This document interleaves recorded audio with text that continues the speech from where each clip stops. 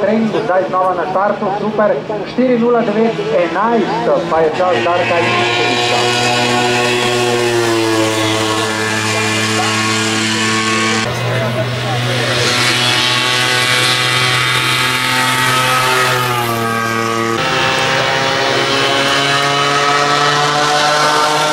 Yeah.